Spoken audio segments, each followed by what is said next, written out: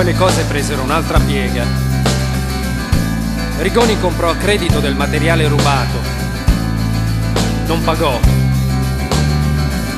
E non credo avesse intenzione di farlo. Piombarono di notte a casa i creditori, ubriachi fradici. Sfondarono la porta di ingresso a calci e lo massacrarono di botte.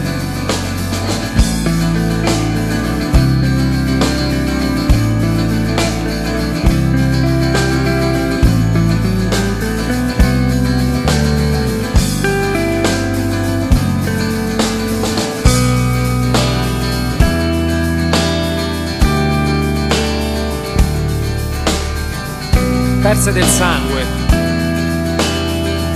l'uso della mandibola per qualche giorno e per un paio di settimane la voglia di vivere. Ma quell'estate era stata formidabile. Eravamo al massimo della forma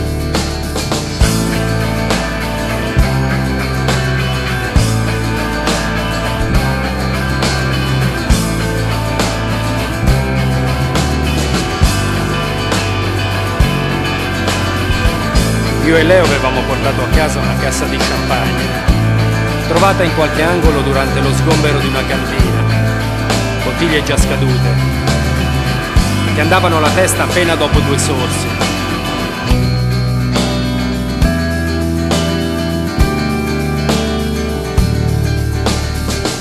Passavamo i pomeriggi in cucina.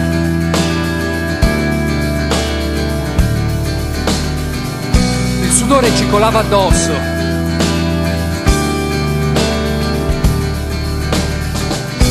Rigoni teneva banco, le guance infuocate.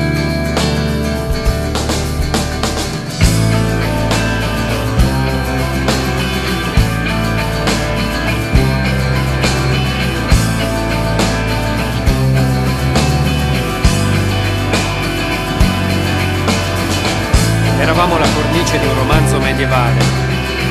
Noi, gli eletti, riuniti in una casa che cadeva a pezzi, immersi nel silenzio dei pomeriggi d'agosto.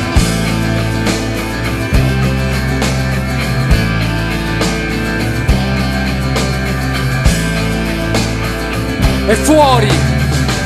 Fuori la peste!